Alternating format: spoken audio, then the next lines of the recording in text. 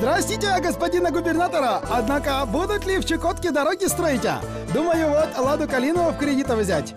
Ты, Сидор, это заканчивай. Ты как русофоб прямо какой-то. Тебе русским языком сказали, деньги все ушли на Крым. Пока идут дипломатические бои, Крым уже живет по-настоящему своей жизнью. Да и вообще, нужна тебе эта калина? Лучше на отложенные деньги в Ялту поезжай. Как раз на неделю, думаю, хватит. Около трех миллионов человек в этом году предпочли отдыхать в российском Крыму, а не на заграничных курортах. В общем, это дуй к жене, да за Крым наш водки тяпнуть не забудь. Это несколько сотен километров побережья на любой вкус. И потекла Путинка рекой. Что это?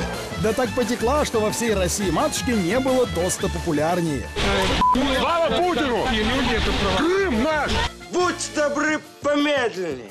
Я записываю. Целый год запах беляшей из Симферопольского вокзала пробивался сквозь экраны телевизоров от Карелии до Якутии. Попасть на полуостров станет значительно проще. Скоро откроются регулярные рейсы из 30 городов страны. И даже тот самый Чукча Сидор быстро усвоил, что рай – это больше не Краснодарский край. В Крым летит вся Россия. Около 70 направлений до 200 рейсов в сутки. Еще год назад эти цифры казались фантастическими. Но вздумали тут прихвостни Обамы в рай русский больше свою фашистскую еду не поставлять. Со вчерашнего дня представители националистических группировок перекрыли все три пункта пропуска на украино-российской границе. Ну, нам-то от этого только лучше, уверенно спросил Сидор у телевизора. Ха-ха, родимый, ответил мужик, укравший галстук у Незнайки. Думаешь, почему Брэд Питт в Евпаторию не ехал, а? Боялся укроповской колбасой отравиться. Брэда Питта и Анджелину Джоли с нетерпением ждут в Крыму. И все бы хорошо, да вот любители рассказать правду матку о Крыме в патриотическом экстазе совсем забыли свои же недавние басни. Экономисты утверждают, украинские товары никуда не денутся с пола крымских магазинов. О блокаде, ненужных продуктах и коварной хунте прямо сейчас в антизомби. Идешь ты такой в Якутии вечерком с рудника. Дороги разбиты, деревянный дом трещит, того, глядишь, развалится. Еще и туалет м-м, на улице. Зато включаешь телевизор и думаешь, эх, зато в Крыму хорошо. Спустя год после референдума о воссоединении Крыма с Россией жители полуострова, и украинцы, и русские, и крымские татары считают, что жить стало лучше, чем в составе Украины. А Крым-то он наш, в Зуле Укропов. Что говорите, деньги с регионов на мост забрали? Да ладно, перебьемся, чай не впервой. Зато построим мост, красавец, пиндосы умрут от зависти. Возведение моста через Керченский пролив должно быть закончено в установленные сроки к концу 2018 года и без завышения цены строительства. Всего за год, благодаря богатырям со Станкина, фраза «Крым наш» перешла в разряд волшебных. Россия не посылала своих военных на Украину и не пыталась дестабилизировать там ситуацию. А Крым наш. Денег нет, с работы из-за кризиса сократили. Даже Балтики в руке нет. Но нажал на пульт, а там Киселев на яхте катается, и уже на душе как-то теплее. Избирательная политкорректность, я бы сказал, да, и там думают, как бы вот еще там что такое ущипнуть. Да что тут говорить, так хорошо, как в этом году в Крыму еще не было никогда. Правда, исключительно по телевизору. А Крым одно из э, популярнейших направлений в этом году у россиян. Э, Здесь уже отдохнули почти 3 миллиона человек. Жители Ниццы и Флориды не успевали сушить заплаканные подушки, прощаясь с собравшимися в Алушту элитными туристами. Сегодня стало понятно, что посрамлены оказались прежде всего украинские скептики, предрекавшие срыв туристического сезона в Крыму. Чем коктебельнее Ницца, а Ялта с ее кинофестивалем не Канны. Насмотревшись такого, россияне, гордо распрямив плечи, шли к станку. Но у зрителей с хорошей памятью сразу возникал простой вопрос. Так, а если Крым уже круче Лазурного берега, то как же быть вот с такими шедеврами? Одна из проблем туристической отрасли Крыма – это старые еще советские санатории. Большие парки, устаревшая инфраструктура. Все это нуждается в срочной реконструкции. Целый год россиянам вбивали в голову, да хохлы, они Крым-то только грабили. Денег вообще не вкладывали. Как еще при Ленина построили, так все и осталось. Все-таки Крым оказался, ну, в общем, таким заброшенным э, на Украине. И мало ему уделяли внимания. Крым занимал по уровню газификации села одно из последних мест на Украине. Но прошло всего ничего, и на этих же каналах разграбленный укропами Крым вдруг стал таким курортом, что хоть мировых звезд приглашай. Брэда Питта и Анджелину Джоли с нетерпением ждут в Крыму. Идея принадлежит главе региона Сергею Аксенову. И даже детей местные власти обещают устроить в сад. И тут-то и хочется спросить, а что за целый год, и извините, Россия построила в Крыму? Может, отели какие крупные или аквапарки? Да нет, не строила. Какие у Украины отжали, такие и работают, да и то не все. Такого безобразия не было никогда.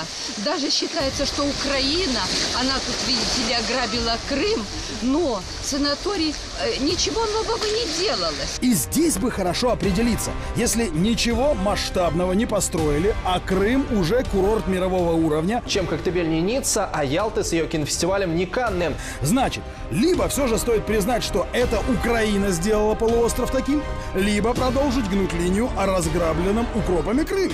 Одна из проблем туристической отрасли Крыма – это старые еще советские санатории. Ведь это тот самый случай, когда усидеть одной России на двух стульях точно не получится. Росія туди щось вкладала? Ні. Росія туди інвестувала? Ні. Е, Економічна ситуація там росла? Ні. Що Крим отримав натомість? Санкції, заборони, обмеження, е, переслідування, вбивства, цензуру і пропаганду. Кстати, про звезд Голливуда в Крыму они как бы не пошутили. Сергей Аксенов адресовал открытое приглашение всем мировым звездам шоу-бизнеса и большого спорта. И иногда кажется, что раскручивать провальный проект «Крым наш» в Кремле поручили Петросяну. Иначе чем-то другим эту смехопанораму объяснить очень сложно. Идея небольшого американского городка, который населяют представители шоу-бизнеса, в России приобретает национальный масштаб. Не пригород столицы, а сразу континент. Сначала, по примеру Остапа Бендера, из отжатого полуострова собирались сделать Нью-Васюки, назвав их новым Лас-Вегасом. Об чем речь? Будь. Но дальше слов и двух игровых автоматов при армянской шашлычной дело, как обычно, не пошло. И решили россияне виртуальный Лас-Вегас в Беверли-Хиллз превращать. Будем только приветствовать, если в Крыму со временем появится аналог американского Беверли-Хиллз. Да так некоторых прихватило мощно, что мэр Евпатории предложил Брэду Питу и Анджелине Джоли экстренно собирать вещи и перебираться к нему в город. Вам не послышалось, в Евпаторию.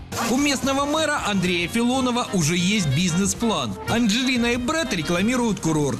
Город выделяет землю под виллу. Ну а что, идея в принципе хорошая. Можно вот здесь, например, поселиться. Анджелине будет где подстилки после моря сушить, а Брэду и до киоска с путинкой недалеко. А вечерком Брэд Питт и Анджелина Джоли оставляют детей болтливому мэру Евпатории и едут отдыхать в Чебуречную, Кашоту. Пивко, чебуреки, чуть протухшая креветка черноморская. Ну чем вам не голливудский отдых, а? А потом Брэд Питт достает 50 рублей и идет к диджею песню любимой Анджелине заказать. Одиночество, сволочь, есть? Не, нету. На вот поставь для бабы, для моей души. И все в этом плане настолько хорошо и красиво, что русофоб Обама боится, что сразу все голливудские звезды в Евпаторию переедут. И решил он от бессильной злобы Крым без продуктов оставить. Они отрабатывают поставленную задачу США, Америкой. Они там получают большие колоссальные гонорары. Они делают то, что им сказали. Нет-нет, вы не ослышались. Меджлис и правый сектор – это так. Исполнители. Приказ дан прямо из Госдепа. Они отрабатывают поставленную задачу США. Но наивный хозяин Госдепа, видать, так и не смог понять загадочную русскую душу, ведь даже если Россия обольется горячим борщом, ей от этого будет только лучше.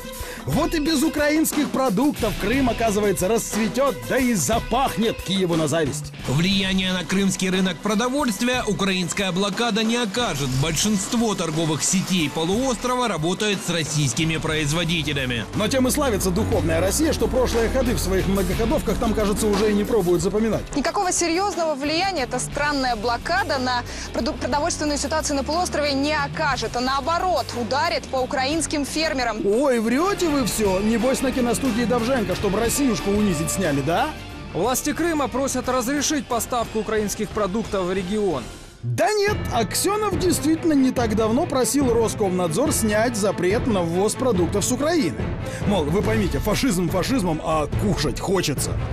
Но прошло всего ничего, и вот это «Аля! Снимите запрет, ну пожалуйста!» превратилось в привычно исконное российское, а нам от этого только лучше. Больше напоминает мне сценарий комедийного мультфильма «Ограбление по-итальянски», там, где Марио все собирался ограбить банк, всех предупреждал за неделю. Вот цель, наверное, точно такая же. И кажется, закапывать самих себя у современной России уже стало хорошей традицією. Аксьонов взагалі людина непослідовна і людина, яка говорить те, що вигідно Кремлю, е, для того, щоб здаватися е, в очах кремлівських е, кураторів адекватним керівником.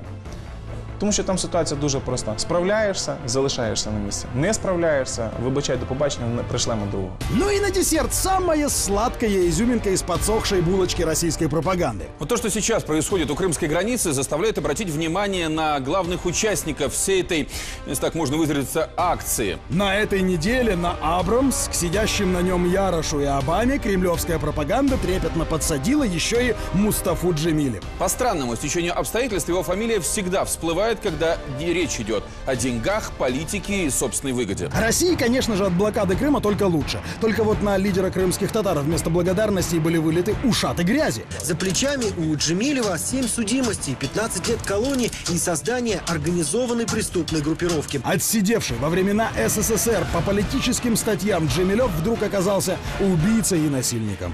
Его первая судимость была за кражу со взломом, затем статья за изнасилование. После выхода на волю рецидивист создал себе образ диссидента и борца за права национальных меньшинств. А Меджлис – это вообще не организация. Ее, мол, никто не признает. Так себе, халтура госдеповская. В интернете до сих пор можно найти показательный снимок, на котором одиозный деятель с криминальным прошлым заискивающе смотрит на президента Обаму, словно лакей, выпрашивающий прибавку к жалованию. Но пришло время доставать кролика из шляпы. Как вы там говорите, вор и насильник никто не признает, да? Тогда с кем это общается президент России в прошлом году? О ситуации в Крыму в преддверии референдума речь сегодня шла в продолжительной телефонной беседе, которую Владимир Путин провел с находящимся сейчас в Москве депутатом Верховной Рады Украины, бывшим главой Меджлиса крымско-татарского народа Мустафой Джемилевым. И обратите внимание на подачу. Тогда воины Останкинской башни Мустафу Джемилева называют совсем иначе. Поговорил с депутатом Верховной Рады Украины, бывшим главой Меджлиса крымско-татарского народа Мустафой Джемилевым. Вот в этой забывчивости и кроется